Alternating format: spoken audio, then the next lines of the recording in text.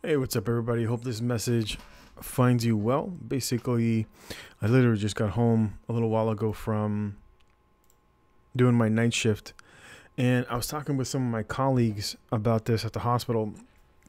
So I'm finishing up my contract. Um, Jacksonville at the hospital that I'm at has a vaccine mandate. I know for all of you people that are like, you know, rah rah for DeSantis, um, but there are vaccine mandates even here in Florida.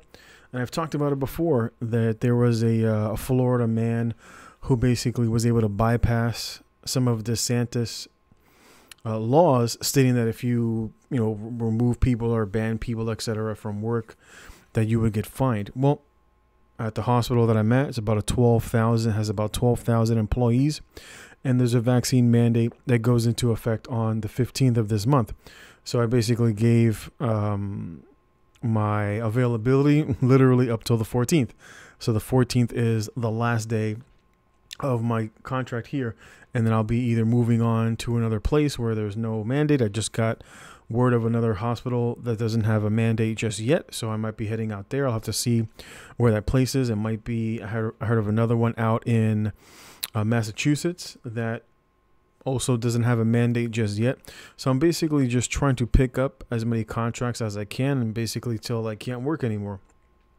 And so I've been a nurse uh, 10 years. I worked in critical care and acute care, and it kind of is what it is.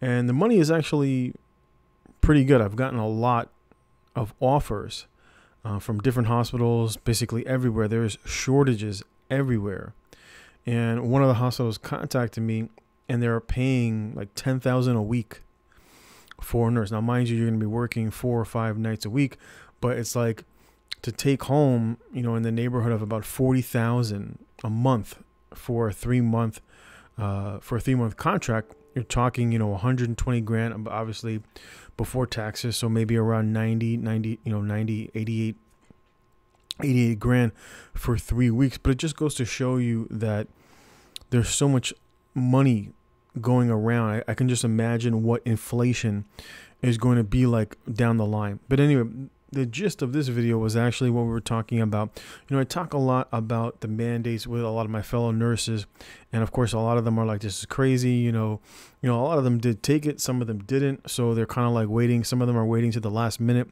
to see if anything is going to happen. And some of them did take it and disagree with what's going on.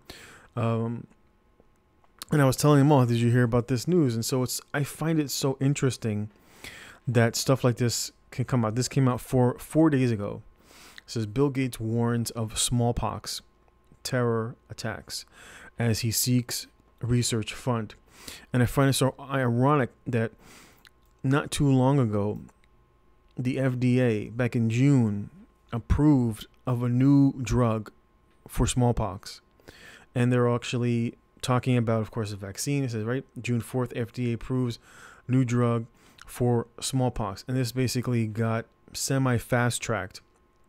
And it's like, you kind of you kind of wonder if a lot of this stuff is just all narrative and this is basically how it's going to play out this is how uh, how things are going to go in our country where you have countries that are utilizing diseases against their own people or whether they're going to weaponize them against other people. I mean, either scenario is terrible to think about. And this is what we have to look forward. And this is why, you know, even with my own family, I tell them, you know, you need to be prepared. You need to have, you know, some money set aside. You keep your money, you know, try to keep your money out of the bank, store some in gold, store some in silver, um, have food, start a garden. I was like getting on my father for the longest. You know, I was like, you got a lot of land out here. I was like, you need to have a garden. You got to have a garden. Start thinking about getting some chickens, get some, you know, goats, whatever you can. You've got enough land that you can do that. Because you never know what these individuals have in store uh, for people.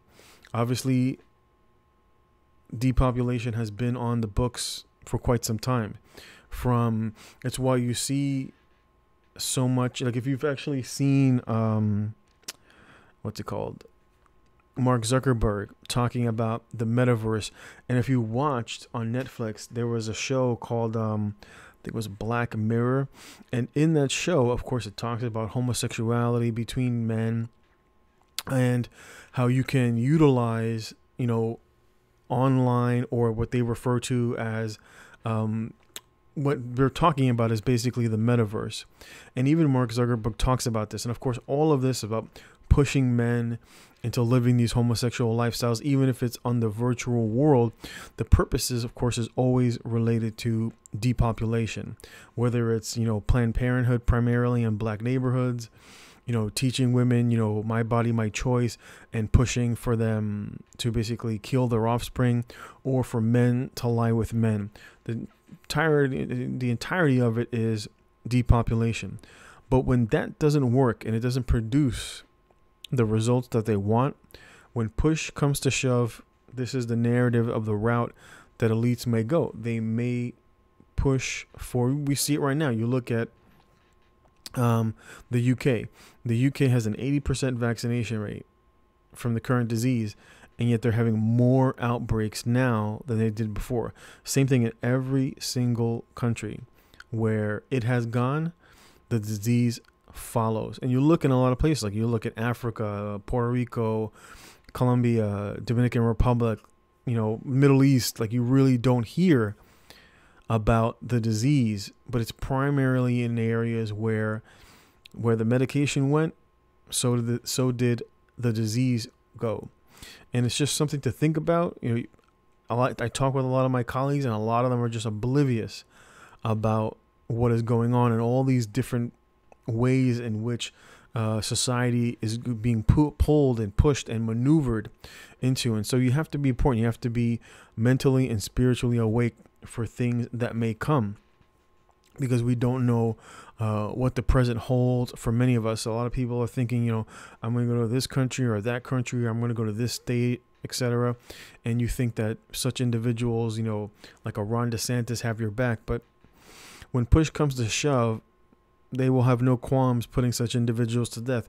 Just look what happened to the Haitian president. Look what happens to the four presidents in Africa that stated that they were by no means going to do, you know, this extensive mandate um, that many other Western countries went that route, and many of them ended up mysteriously dying. Haitian president got assassinated, and so you never know. The best that the best that you can do is to be prepared in every single way and at the end of the day basically leave it in God's hands. Anyway, I just wanted to touch base. Hope everything is going well with you. I just got home from my night shift and I'm basically going to watch the market uh, as I do a lot of training, trading, option trading. And so I pay attention to a lot of the stuff about what's going on in the financial market, which is why like like they always say, follow the money. And where the money goes is typically where the narratives follow. So I'm going to basically leave it there. But I found this super interesting and su- super suspect that literally around the same time, and of course, you know, Bill Gates has been talking about uh, pandemics. You know, this all this narrative is just come all very new and we're kind of seeing it unfold right before us. But anyway, I'm going to leave it there. I found I found this to be quite interesting. Let me know what you think down below. Is this all, is this is all coincidence?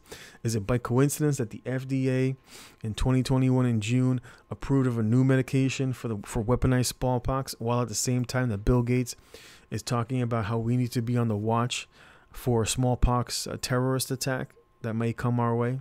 Anyway, I'm going to leave it there. Hope everybody has a great day. Thanks for watching, and I'll catch you next time.